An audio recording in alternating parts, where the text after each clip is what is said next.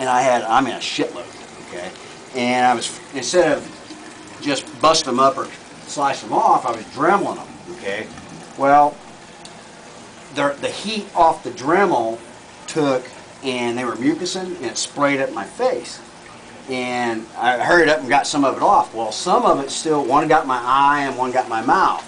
It made me sick for several hours. I mean, very, very sick. You have to be very careful with zoos. Um, word of caution, if you have a live rock that you really like and you don't like the zoos that's on it, do not boil the zoos and breathe over it.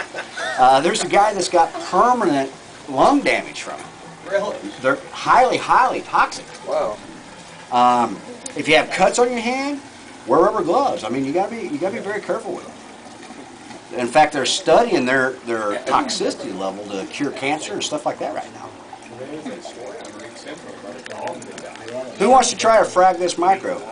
Where where's he at? Where you at, bro? The micro dude, where you at? Right behind you.